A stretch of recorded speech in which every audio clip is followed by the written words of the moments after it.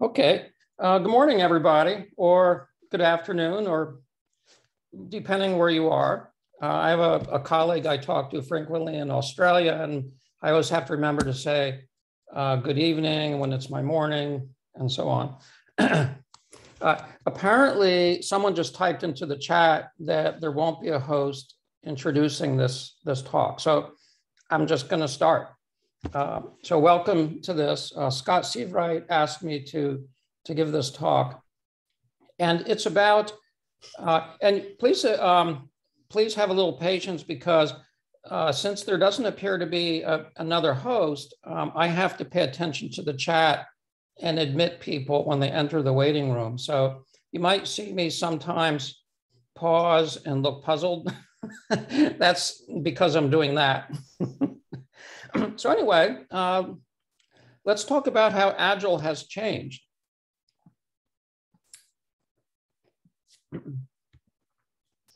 So you might wonder, well, who is this guy? My name's Cliff Berg. Uh, you can tell I have gray hair. I, when the Agile movement started around 20, 20 2000, uh, 2001, 1999, 1993, depending on where you make the starting point. Um, in 2000, I was 20 years into my career.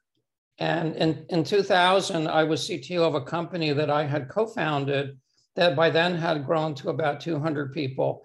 And we, we built uh, B2B uh, enterprise class things using Java. Uh, I was uh, an author of some early Java books. I wrote Sun's enterprise Java book.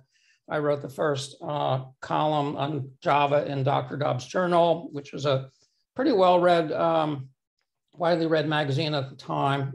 Today we don't have magazines anymore. Amazing how things have changed. And uh, well, we do, but uh, they've really diminished. And uh, I was very interested in Agile because, you know, when uh, to me, I kind of became aware of Agile per se, although it was extreme programming. Uh, in 1999, Kent Beck's book came out, and, and one of my architects told his manager about it, and he told me, and so I told them to try it. So, um, so we became an, an XP company. And uh, yeah, that was a, a learning journey for me. But to me, Agile was like a breath of fresh air because it was really the 1990s that kind of was uh, the methodology craze. Before the 1990s, people didn't use frameworks or methodologies for building software. They didn't. What, what you had to do was find a project manager who knew what they were doing and was a good leader. And that was hard. it was like finding a good artist. Uh, and so you didn't know what you were going to get. The project could fail or it could be very successful, depending on, on who the project leader was.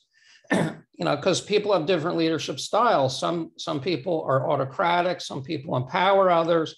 You know, it was all over the map. And so, you know, but by the late 90s, project management had become this big heavyweight thing uh, with phases and, and lots of steps and documents and all that.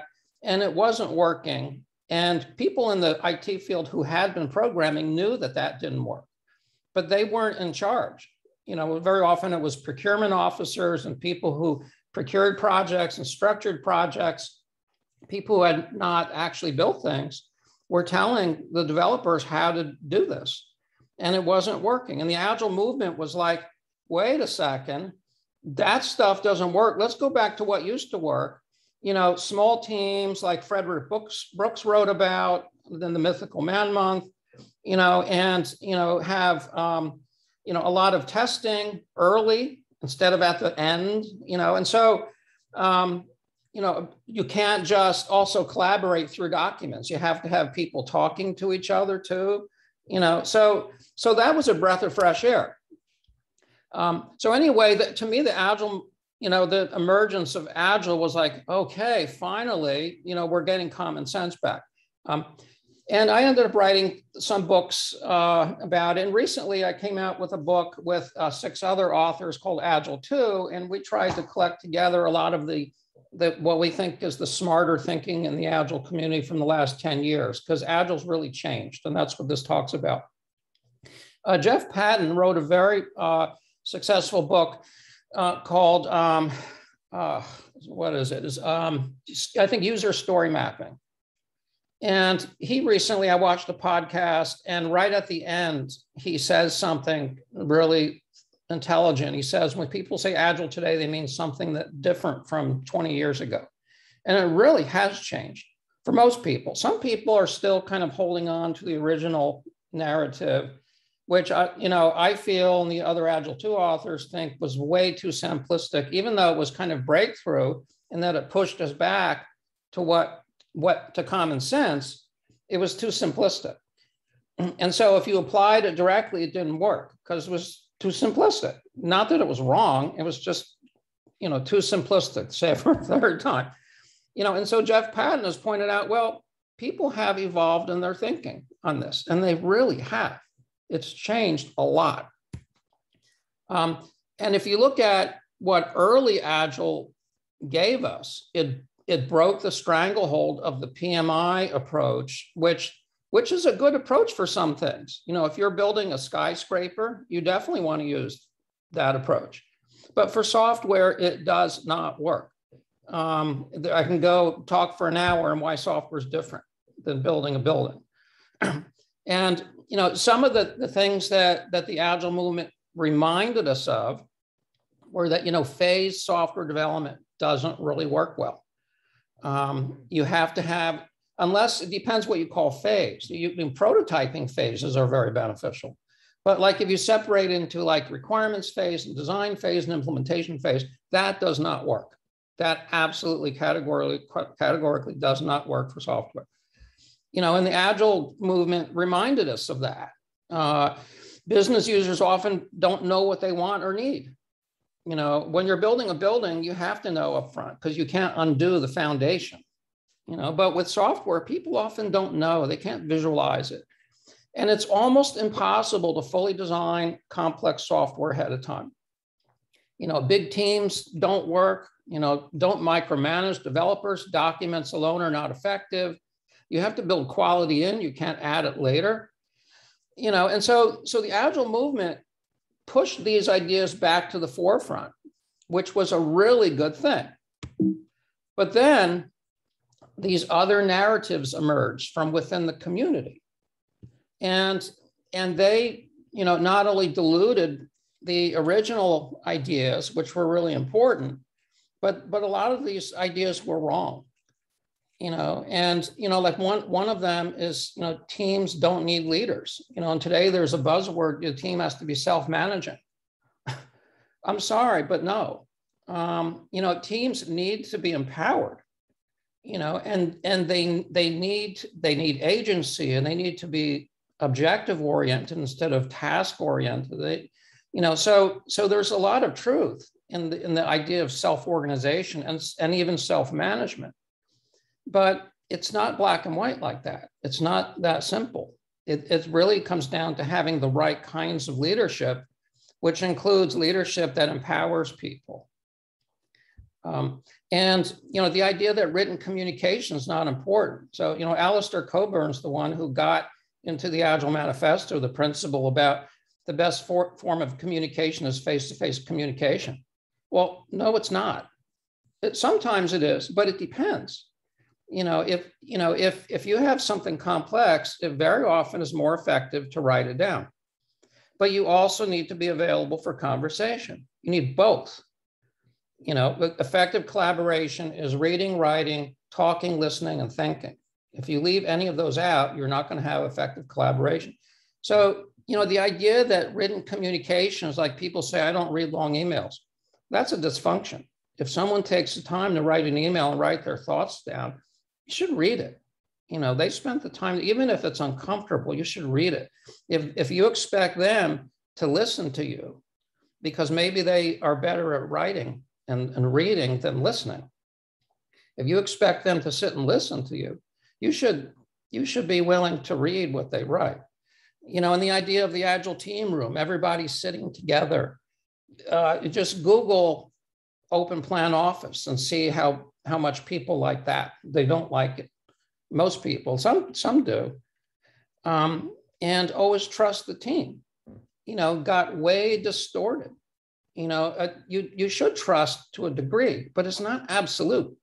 You, you have to assess where people are and look at what could go wrong and how severe that might be. And, and so it's about empowerment, not just absolute blanket trust. And so, so a lot of the original ideas got distorted into these bizarre extremes.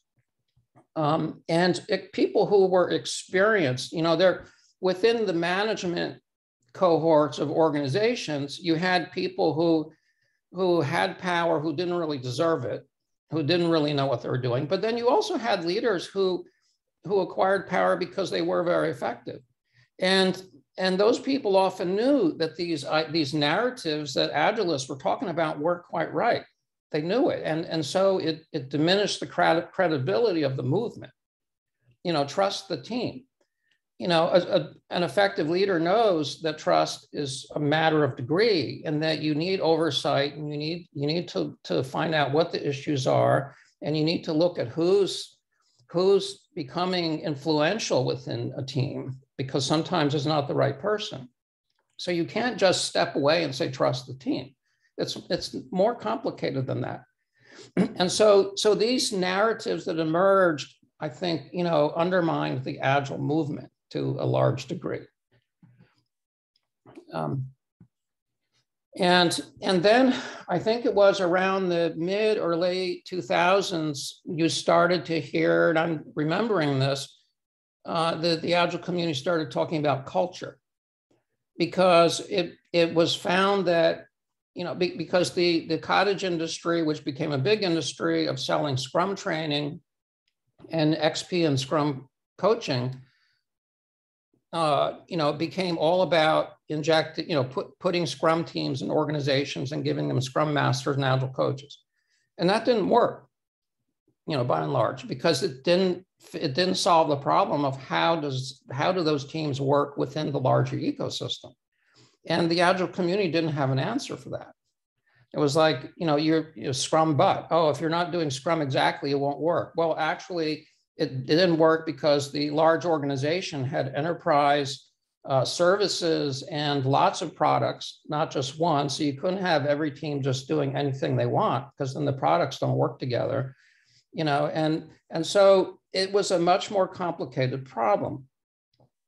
And the agile community started talking about culture, and because it rightly observed, well, culture is important, but then it didn't have any answer for what that meant you know, well, what is culture?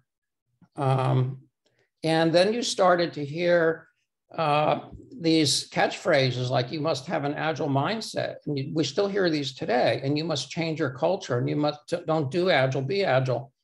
But you, you don't hear what that means. You know, so what does it mean to have an agile mindset? You know, and then you'll get kind of a blank if you ask someone, you'll get kind of a blank stare, and then you'll get something very different from five different people. You know, so um, actually, in my my company, Agile Two Academy, we have been working with a culture organization called Human Synergistics that has a very rich culture model to try and tease apart what an agile culture actually what that actually means. Um, but you know, no one was really talking about that back then. And, and then, you know, another dysfunction was that the community, and this is not everybody, everybody's individual. So I'm talking in the aggregate about, and I was a member of the Agile community. So if you blame the Agile community, you're blaming me too, because I, I am and was a member of the Agile community. And the community, by and large, in the aggregate, was not listening you know and if if you criticized anything it was like you're an agile doubter or you're not doing it right or something or it's, it's your problem it's the customer's problem. Uh, you know um, you're, you must not be doing it right. And uh, developers really well let me hold on that for a second. And the, the results of agile transformation have not been good. And again you know the agile community tends to blame the customer. You're not doing it right it's you know managers are bad. You know they're they're not agile. And there's some truth in that. But also if people aren't doing it right well maybe you're not communicating it right or maybe you maybe you're missing some things that that they need to be effective. You know why is it always their fault?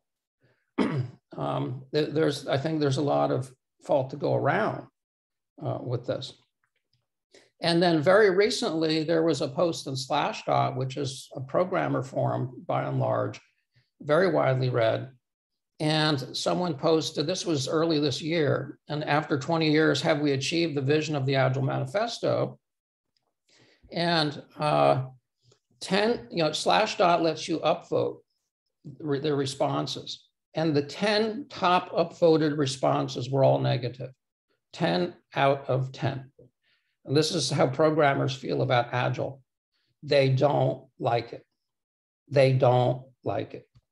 And you can blame them and you can blame the organizations and, and you can have theories about why that is. And is it their fault or is it our fault or what?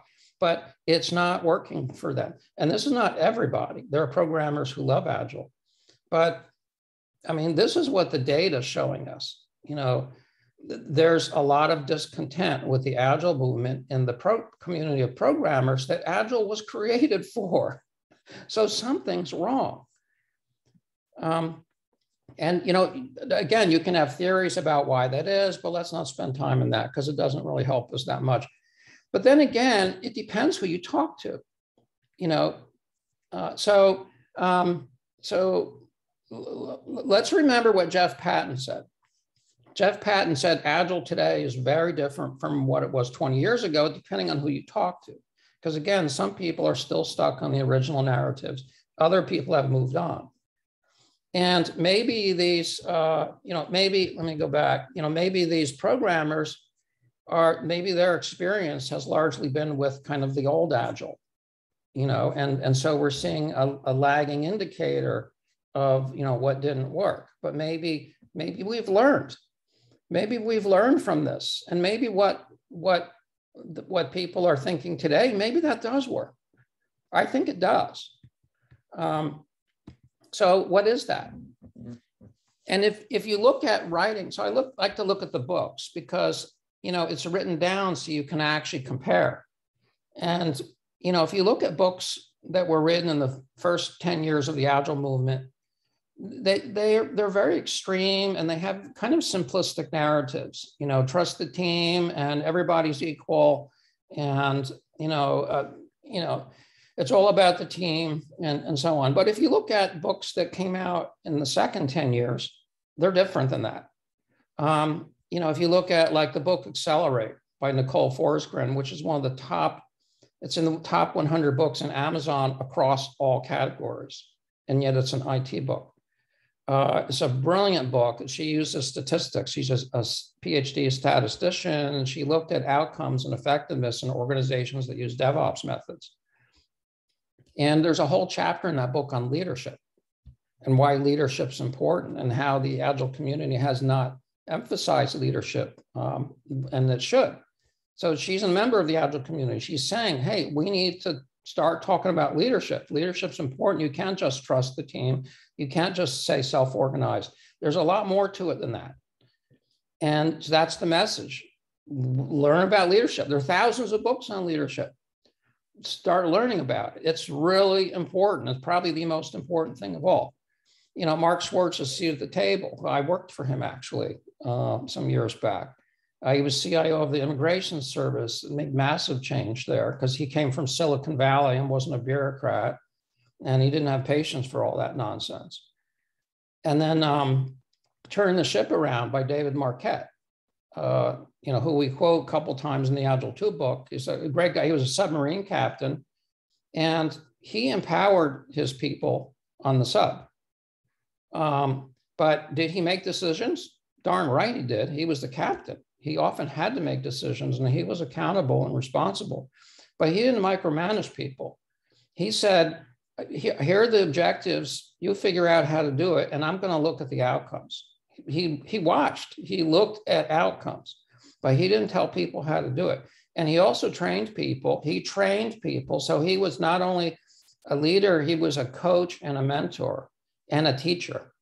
You know good leaders are wear multiple hats at the same time or at different times. And he trained his crew to speak their mind openly to, to think out loud. Instead of just think and then say their final thought he trained them to think out loud. Which which is like unheard of in a military context. Um, someone's playing music.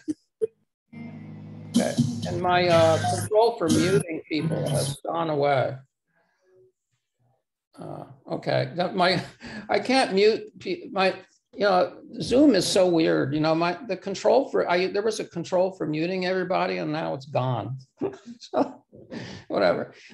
But anyway, so um, and then there's a book I love by Klaus Leopold called Rethinking Agile.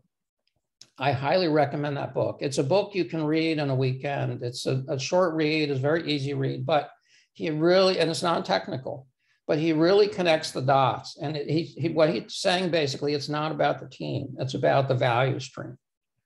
You know, there's the agile community has become obsessed with the team, the team, the team, the team, the team. Even though the Agile Manifesto starts with the word individuals, somehow the community has turned it into teams. We've forgotten about the individual. Individuals matter. Individuals have careers. They don't want to all be treated the same. But anyway, um, so if, and then there are these other, lots of other books. This is just a tiny sampling.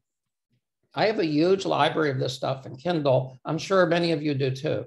Uh, you know, there's some books I highly recommend. Leaders in Motion by Marta Wilson, um, who lives not far from me in Virginia uh, Daniel Goleman's Focus, Quiet by Susan Cain, and the, my favorite, Thinking Fast and Slow by Daniel Kahneman, on why people need quiet and isolation to think deeply.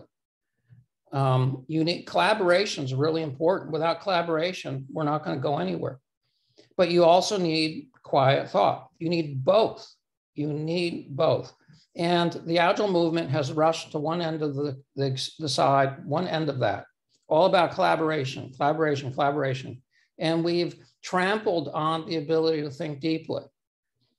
So we need to restore some balance in that. And that's what Agile 2 is about. Agile 2 tries to collect all these ideas and kind of integrate them into a new narrative that doesn't replace the Agile Manifesto, but strengthens it, kind of strengthens the original ideas, elaborates on them because they were too simplistic, and reflects all this newer thinking um, that's much more informed and much more nuanced.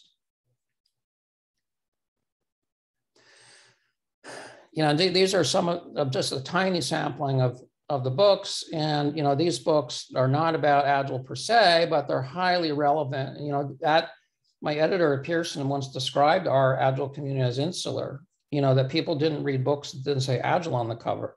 And that's changed a lot that definitely has changed. Um, but you know, there's so many other topics that are highly relevant, like leadership's one. Um, you know, cognitive psychology, uh, behavioral psychology. My wife's a behaviorist. She's a, a behavioral therapist, and you know, her approach is so different from the agile community. Uh, so you know, we need to learn about those things and organization design and there's a lot. Um, product design, uh, the Agile community is very aware of the need for product design, but you know, product design got kind of displaced in the early days of Agile. It, it, it was a mature field, but it wasn't very Agile. but it basically, because it wasn't Agile, it got chopped out. And so ag the Agile community, many Agile teams have tried to reintroduce it by inserting UX people, but that's not enough. You need product design teams these people are experts and they work deeply and they're very thorough and they, they know how to work with users and you know you need product design teams and product design leaders and they need to work collaboratively through some process with development teams on an ongoing basis. You can't just have a product owner who magically knows everything. You have to have product design. Um, and so you know these new ideas are much more effective are much more effective.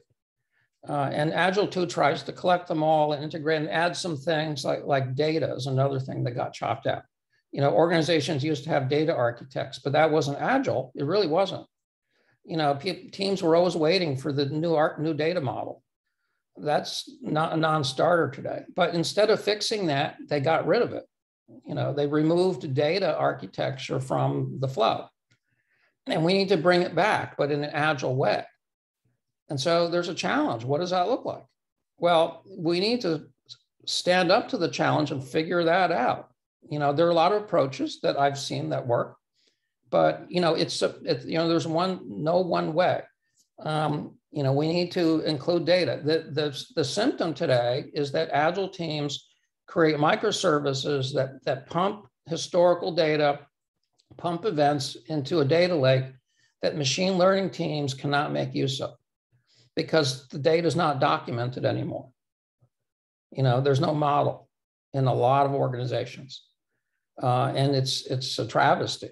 Um, all that information being unusable. I have a colleague, a machine learning expert, a mathematician.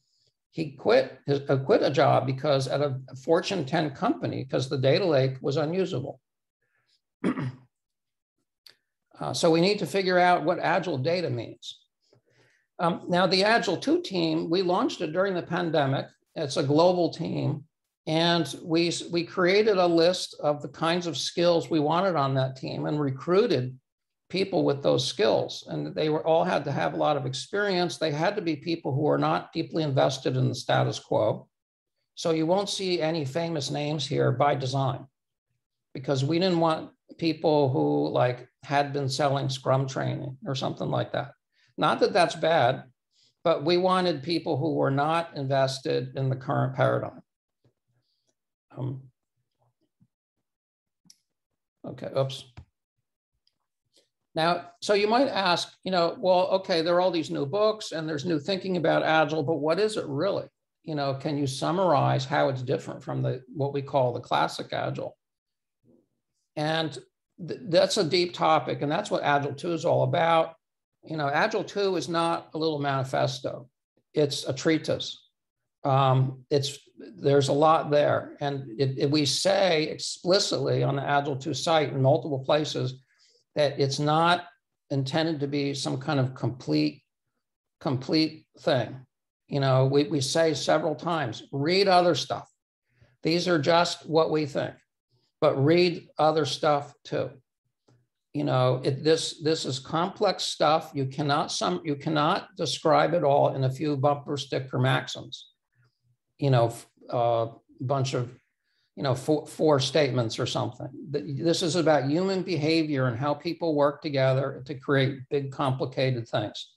Um, and you cannot, some bumper sticker maxims won't cut it. So Agile 2 is, is very rich and it includes, if you go to the site, it includes all the thinking that went into the, the principles. And the principles are intended to be reminders, not rules. Um, Every principle has lots of cases in which it wouldn't apply.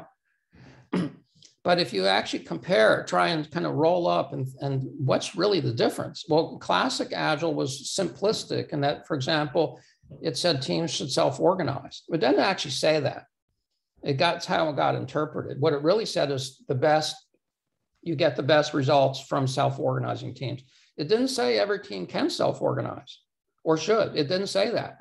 but that's often how it's interpreted. Um, but in Agile 2, you know, Agile 2 explicitly acknowledges that self-organized, self-organizing is a very worthy thing to try to attain. But the way you get there, and, and what's even more important, is having positive forms of leadership.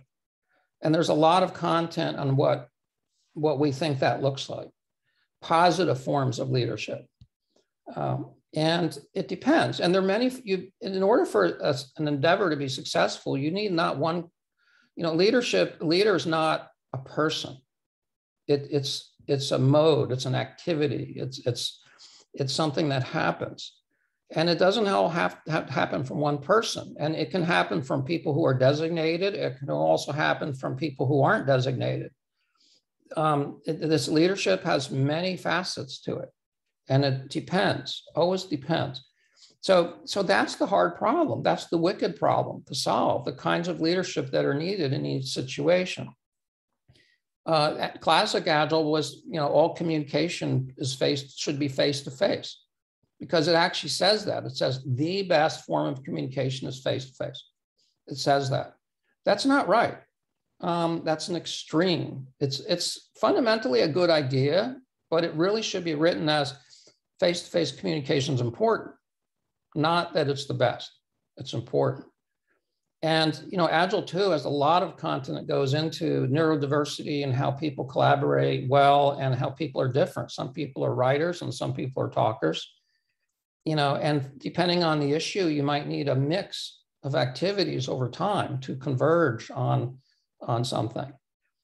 Um, and you know, the classic Agile became all about the team. Well, what if you're a large organization that has lots of products? and each product has many teams and the products share components. So that's a, a complicated situation that we have to deal with. That's the real world. And so this, this single-minded focus on the team is not sufficient.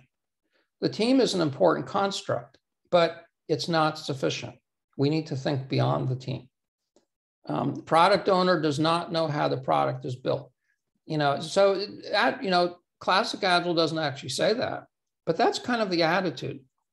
The attitude in the community tends to be, and again, everybody's different, but the attitude tends to be the product owner is just a business person. They only need to understand, um, you know, what the features need to be, and then the development team will build that. It's kind of like an order take or like a feature mill. Like, okay, I wanted the product to do these things. You figure out how to do it and make that happen.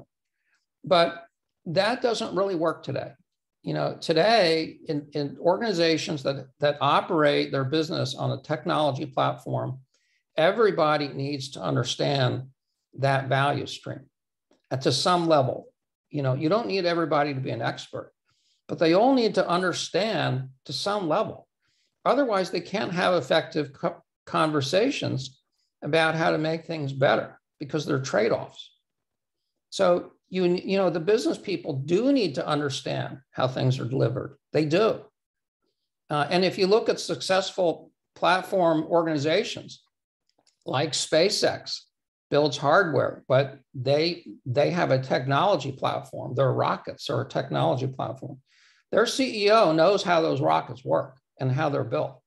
And if you look at Amazon, Jeff Bezos, you know, for all his faults, you know, I'm not a big fan personally, but for all his faults, he knows how their stuff works. Um, and there's a lot of evidence of that. And because it all matters. You know, how you build the product today is as important as what you build, because how you build it affects your quality, it affects your, your agility. So you need, and you need to, you need to know how it's built. Um, experimentation and trust the team. Well, that's too simplistic.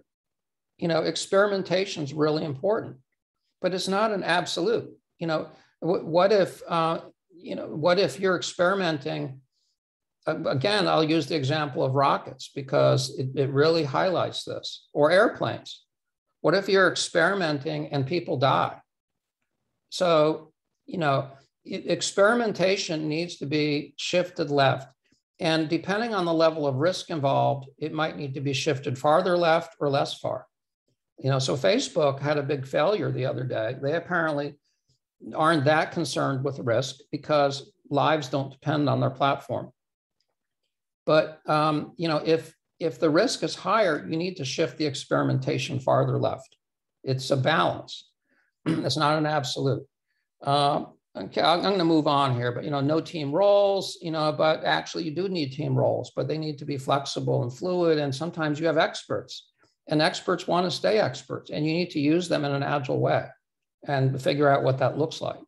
It's not that everybody should be fungible, um, although fungibility is good. It's, it's something to strive for. And data and security and product design, you know, those are things that Agile 2 tries to bring back into the standard narratives uh, around, around Agile. So let's take, let's take just four of these. Uh, and let's look at like just those four, um, you know, just so we don't spend so much time uh, on this. Now, if you look at classic Agile, you know, teams self-organize without interference. And I just have to tell you, I've been on self-organizing teams many times in my career quite a few times. Every single time it was an awful experience. And maybe I was unlucky, but that has been my experience. I have never had a good experience on a self organizing team because what has always happened is someone took over. And it, it in each of the, those cases, it was not someone who was a good leader. It was someone who was persuasive and vocal and aggressive um, and uh, political. so I personally, I'm sure many people do have good experiences with self-organizing teams. Um, so self-organization really, you know, when the Agile Manifesto was written, I remember that time. And, you know, there was frustration around bad bosses. I myself had some bad bosses. And it was, you know, I think the self organization came from leave us alone. You know, we're tired of bad bosses. And that resonates with me. But just getting rid of bosses doesn't solve the problem, it replaces one problem with another. so we need to be smarter. And uh, what we need to realize is that there's no shortcut, that it's about types of leadership. And we need to understand leadership better. Everybody needs to understand leadership and the different forms it can take. Leadership isn't bossing. Leadership is having influence. It's, it's persuading people. It's sometimes making decisions, either for yourself or that maybe affect other people. Maybe your decision making authority is on certain issues, like maybe you're a tech lead, but that doesn't mean you're autocratic. A, a good tech lead will be inquisitive and say, what, do you, what does everybody else think?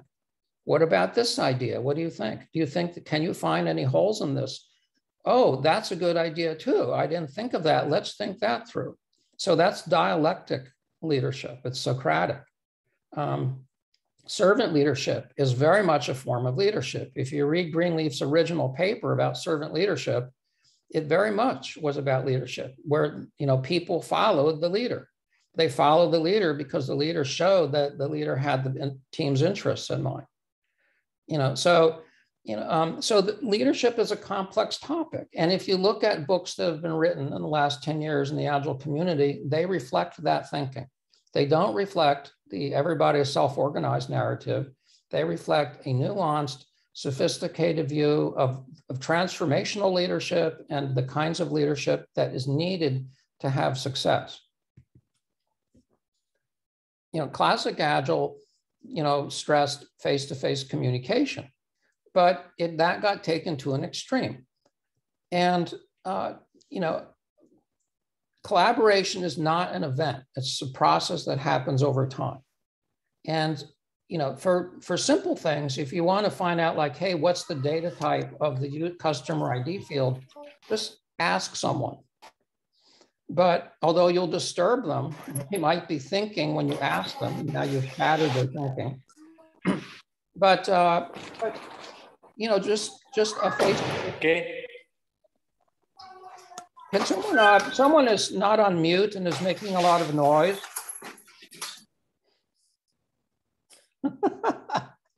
okay, thank you. Um, so, you know, collaboration is a process. And depending on what the issue is and who is involved and how they tend to collaborate, because uh, like scientists tend to write more than talk.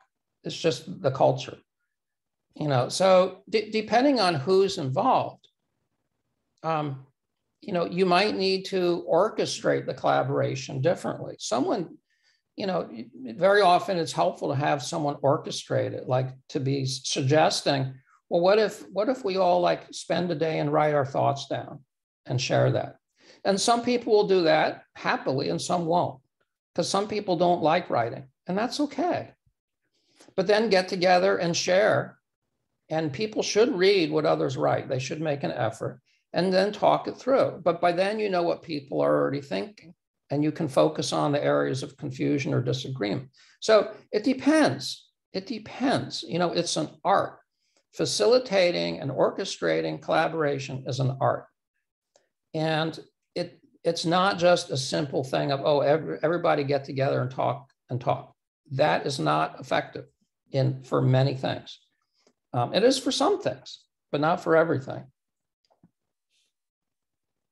Uh, you know, classic agile was was hyper focused on the team, and you know the idea of a feature team that a team can do everything, which is a really powerful situation if they can. But today's stacks, number one, today's stacks are too deep. I myself have worked in stacks, so the deepest I've encountered was was uh, embedded code running on machines that sent messages over the internet to a gateway. There's millions of messages per second coming from all the machines. And um, then being, being sucked into Hadoop and Apache Spark pipelines for processing, which then data got pushed into various data marts and, and message stores. And then there were processes for extracting that that fed other data marts. And then ultimately there were web portals, several web portals for different market segments um, that pulled that into dashboards that customers could see. And there were, uh, you know, the embedded code was written in C. Uh, and the, you know, the messages were uh, actually gRPC messages, uh, not REST. And um, uh, you know, a lot of Java, and then on the UI side, a lot of JavaScript, and all all kinds of different things and different frameworks. No team can work across all that stuff. No team can work across all that stuff. You'd have to be a genius. and there are some, you know, there are some individuals, but uh, so you know, for complex things, this hyper focus on the team it's a nice ideal, but it, you cannot always attain that ideal.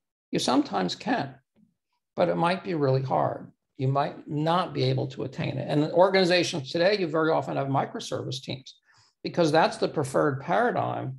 You want architectural cohesion. So the preferred paradigm for microservices, you know, if it's a core microservice, is to have a small number of teams that own that microservice it's, it's a component development paradigm, not a feature paradigm. And, and, and because those microservices are used by many products, so you cannot just have people changing them. Um, you have to be very cautious about changing them. so we need to solve that problem. And there are a lot of techniques for helping to solve that. I've written many articles on, on how you can automate uh, integration testing and, and the different techniques for synchronizing changes across products and components and, and so on. Um, you know, feature flags and feature branch builds, and there are always many repos involved. So it's a, a hard, hard problem, um, and there's no one solution. So we need to understand that it's not so simple. You know, just oh, just let the team do everything. That doesn't always work. uh, and, you know, in classic Agile was, um, you know, I already mentioned this, that the product owner was completely focused on features, which itself is a dysfunction because the product owner should be really focused on the product strategy. There should be a product manager, focus on the product strategy and and how it's going to be successful and thinking at a high level, not thinking about little features. You know, the product mad, the product owner should be saying, we want the product to enable users to do this. Because I've been working with, and, and some of you, maybe some of the leads of our 30 teams have also been working with actual users through the product design team. And so we have a new concept that the users are came up with themselves, and we want to try that, and we think it will be really effective. Um, and, you know, so someone needs to kind of flesh that out. And that's business analysts need to work with the technical folks to flesh that out. You, you don't want a, a strategic thinking product manager to be writing stories. you know, you know, maybe if you're writing a little website that works, but if you have something that's complicated and big, like you know, a, a, an application suite that a bank uses for their millions of customers, probably a product owner writing stories. You know, very often people who are called product owners are actually business analysts. If you have 30 teams for a product and each one has a product owner, they're not really product owners, they're analysts. There's one product owner, and they don't have time to spend two hours with every team every day. There would have to be more than 24 hours in the day. so, um, so the model is too simplistic. The product owner model doesn't scale. And, and product own, and real product managers do need to know how the product is delivered. If you look at a Formula One racing team, that there often are hundreds of people. They're not all shown here. Today, it's you know it's it costs hundreds of millions of dollars a year to for a Formula One team to keep their two cars in the races, which is happens for uh, half of the year. They spend half the year designing and building and practicing, and then they spend the other half racing. And they're all involved, and even the, the, the people who are funding all that know how the stuff works. Um, so you cannot just focus on just the goal. You have to also understand how it's going to happen. As Jack Welch said, how you're going to win in this business. Um, so just to conclude, uh, you know, Agile 2 is tries to capture the more recent writing from the Agile community because Agile has moved on.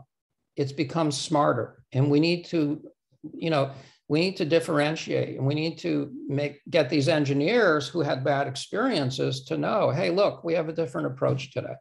It's changed.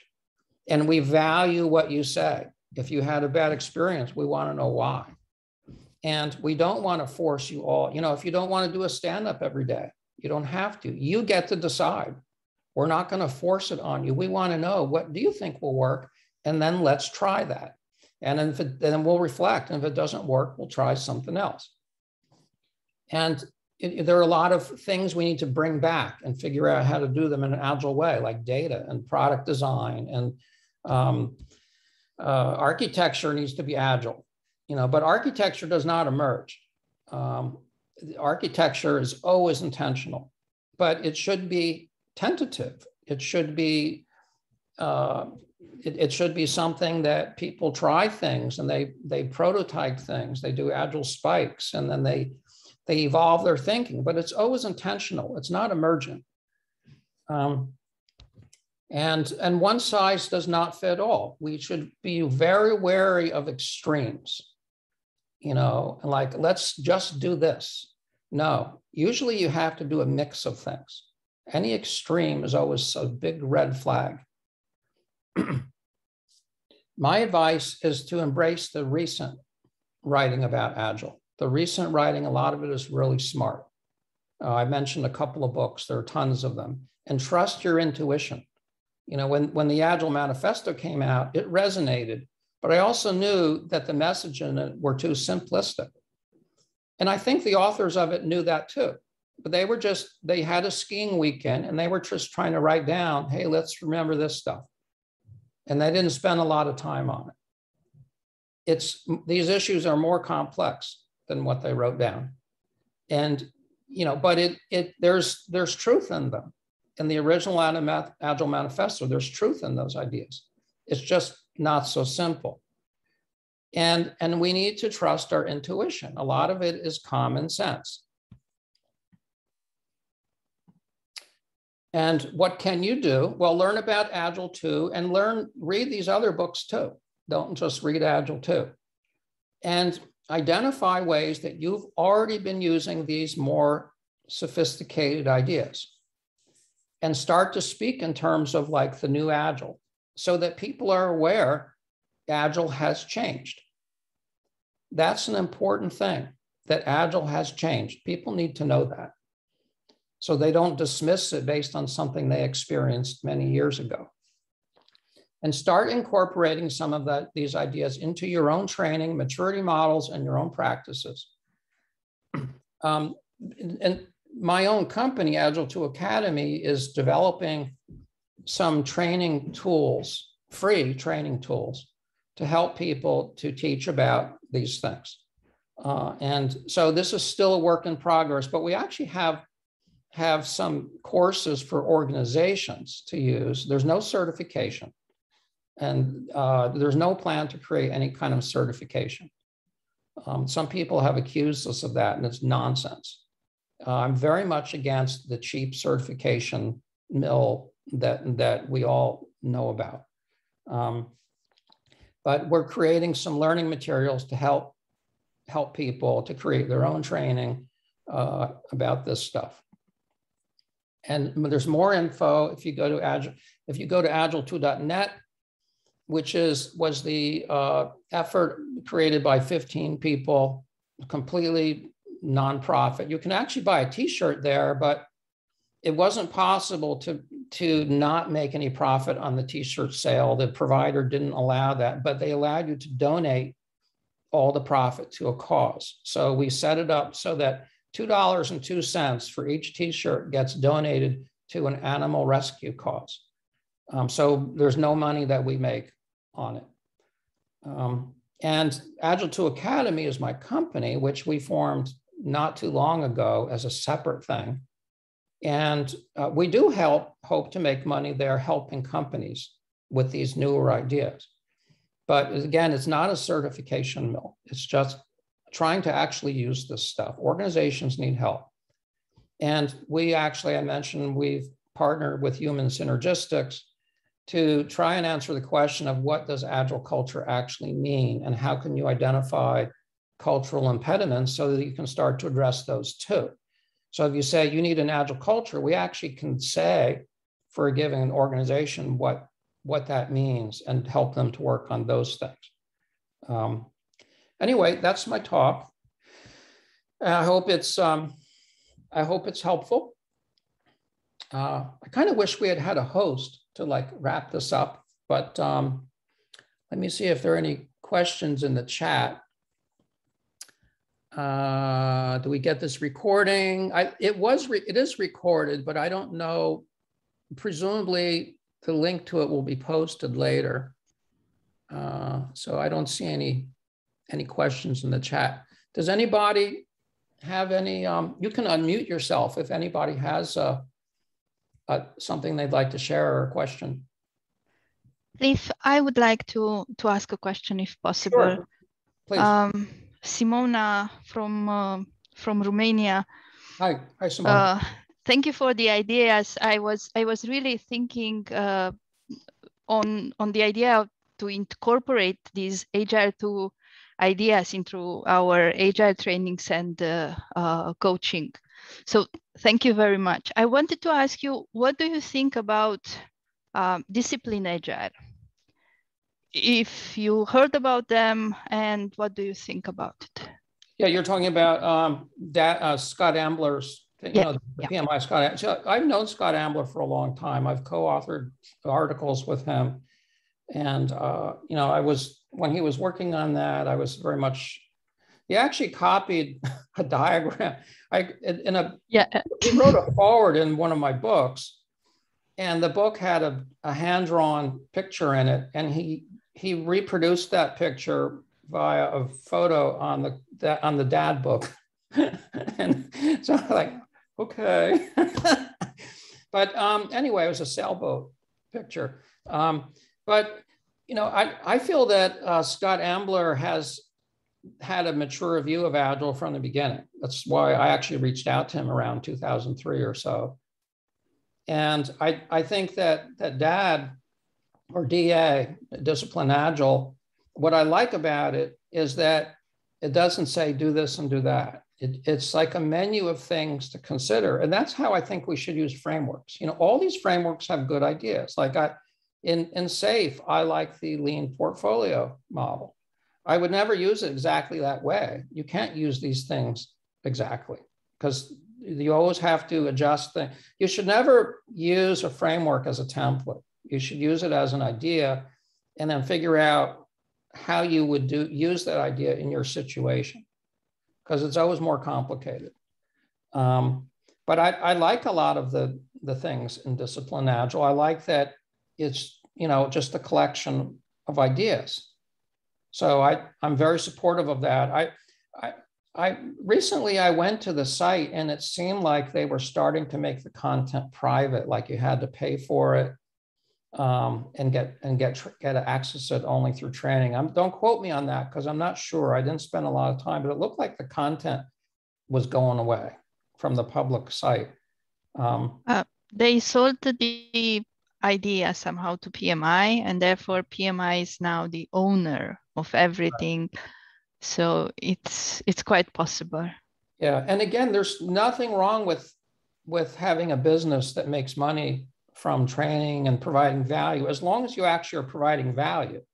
You know, if you know, training sometimes can be good. You know, my my nephew is a certified financial advisor and planner, and he got a certification that took he studied for a year, and it was very hard test. It took him two days. The test was two days long you know, and it was an important test. You know, if, if you're a doctor, you have to go through, take tests and, and get board certified. So, you know, certification is not inherently bad. What's bad is if it's like, like superficial or it's like just memorizing someone's framework.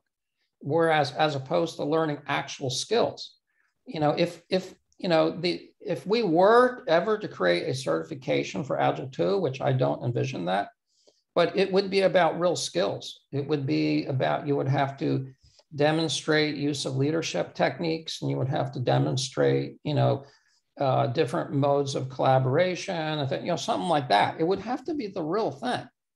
Um, but, you know, there's no plan to do that. But, you know, training, training is, and, you know, is not bad. It's people should, but it needs to have integrity. It needs to be ethical. Um, you know, I think the ideas should be published so that everybody can read the ideas. But I, I think, you know, if PMI's business model, I think it should focus on adding value, like teaching it or consulting or both or something. But I, I think the ideas themselves should be open. Um, but I, I don't know if they still are but I know that the ideas in, in disciplined agile, I liked a lot of the ideas. Um, they, a lot of them were good ideas. Thank you.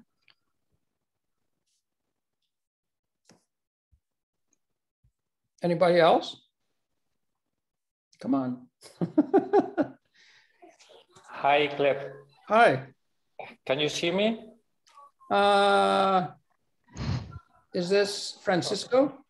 Yeah, exactly. Oh, uh, oh hi. Sorry, I'm not a native speaker. I uh, recently saw an interview that Javier Garzas made to, uh, a few weeks ago. Javier Garzas from Spain. Yes. And uh, I, I really like your the, the, pragmatic view of your approach. And I wonder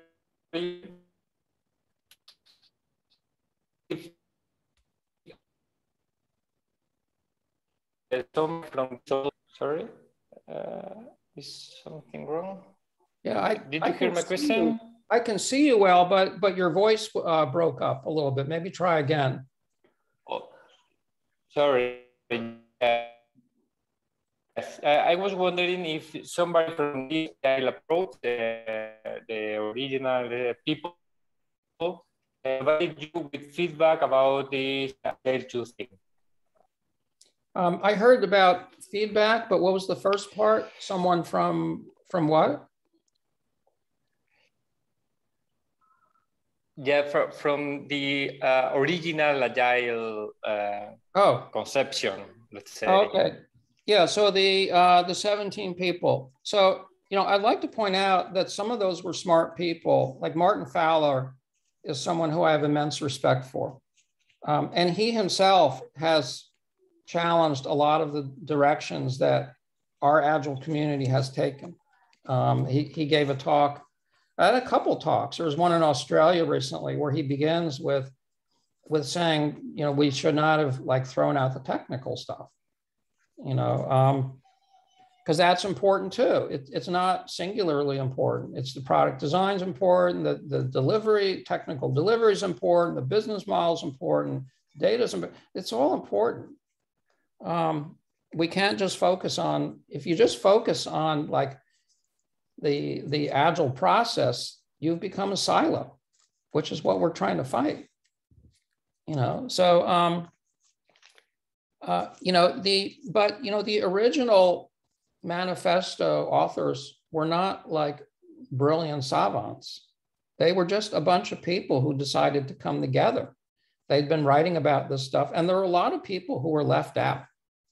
Um, you know, especially among the, the community of, of women. Uh, there, there, there are people who were prominent and speak and talking a lot about delivery and practices back then among women who were not invited to that. And you know, so so I don't see that group as unique or special. You know, I I think they were smart and they were they had the right idea at the right time. It was needed. The time had come. That the extreme programming kind of ignited the movement because it, it was a book that made it really come to, to the forefront. Extreme programming explained, and so it was all about XP, XP, and then the Agile Manifesto kind of took the mantle from that. Um, and interestingly, XP and at the Agile Manifesto are kind of very much opposite. You know, XP was about extremes. And the Agile Manifesto, if you read it, the, the values anyway, the, the values are what they came up with at the Snowbird meeting. The principles, a few of them hammered the principles out over email later. At Snowbird, they only came up with those four value statements. And those value statements were very balanced. It was about balance. We, va- we value all this stuff. We value the stuff on the left more than the right, but we value both of them. You know, so it was about balance, whereas extreme programming was about extremes. So they're very opposite. You know, XP and Agile were opposite. Um, that got lost on a lot of people. They're not the same at all. They're not even similar. Um, there's some similar ideas, there's some intersection, but the philosophy was fundamentally different. I mean, Kent Beck even apologized in the second edition of his book for being too extreme and for being act actually kind of arrogant about it. Um, but um, you know, we we didn't invite. You know, so you asked if we've heard from them. Um, not really. You know, I I've been surprised at kind of the silence uh, the, the, you know, I think they're all busy doing their thing, you know, and I think it resonates. You know, Dave Thomas has been writing about some of these things and speaking about some of these things. Uh, Ron Jeffries has been writing things like don't use Agile because it's been corrupted. You know, um, Martin Fowler, uh, um, Alistair Cockburn has changed his thinking on a lot of things, and I like him a lot. I, I think he's very much an extrovert, and he kind of pushed the Agile Manifesto into what he wanted it to be. you know, uh, you know that thing about face-to-face communication. He'd been writing that in his blog for a year before the Agile Manifesto was written. Um, but uh, you know, we haven't heard from them specifically. I, I have communicated a lot with Ron Jeffries um, before this.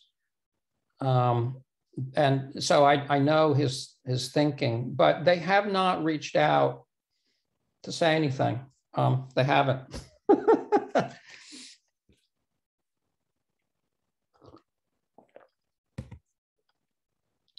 Anybody else?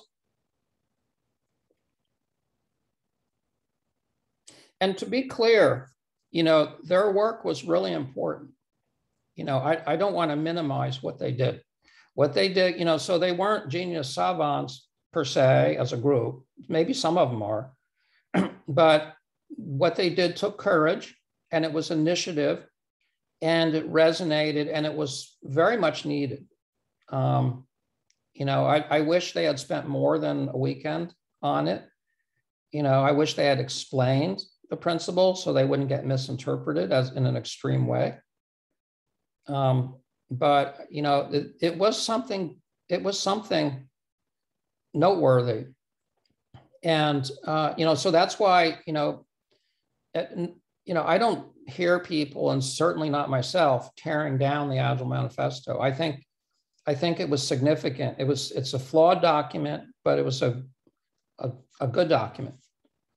And it's something to build on. And, you know, we, we're trying to build on it. We're not trying to tear down and replace it. We're, you know, we're, we're trying to make a delta, um, trying to make a, like a more nuanced, uh, balanced pivot uh, for Agile um, with the Agile Manifesto as a very important contributing uh, component.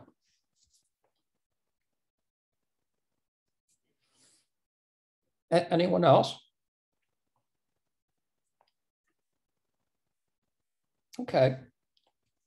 Well, thank you, everybody. Uh, depending on where you are, I hope you have a good morning or a good evening. And I believe this was recorded. Um, but I didn't do the recording. I didn't set this up. so I think the way they do it is they post the recording later on the on the meetup page. Uh, but I'm not really sure. They promise that they will put it on on their YouTube channel. Oh, okay, that's right. They have a the right the um, Access Agile YouTube channel. They'll put it there. Okay. Um, may Agile live long and prosper. You know, I think we need to pivot and keep making it stronger. Um, we need to keep uh, building. Yeah. Have have a good day, everybody. Have a good day. Thank you so much, Cliff. My pleasure. Thank you.